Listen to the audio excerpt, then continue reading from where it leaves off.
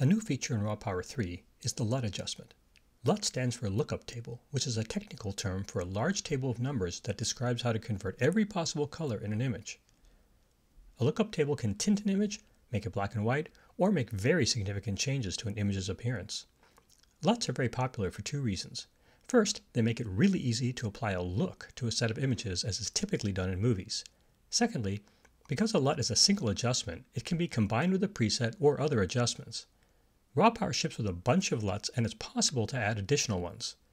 If you search the internet for LUTs, you can find a number of companies that provide LUTs for free or for purchase. I recommend the company Lutify.me, which has provided RawPower with a number of expertly designed LUTs. The LUT adjustment in RawPower is very easy to use. There are two initial categories, LUTs that you have imported and the built-in set. There are three categories of built-in LUTs. Creative, film simulations, and the above-mentioned Lutify.me LUTs. Film simulations are designed to be similar but not identical to some analog films. Simulations can only include color, so they cannot contain grain or other effects like vignetting. To add a LUT, pick a category and pick a LUT. There's also an intensity slider that you can use to dial back the effect.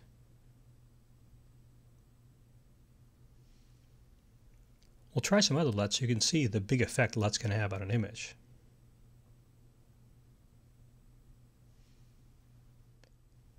Here are the film simulations.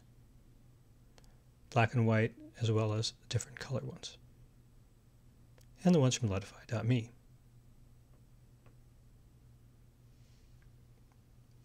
To add your own, tap the Import button a little bit of help comes up to tell you what's going to happen, which is mostly that it's going to bring up the files browser.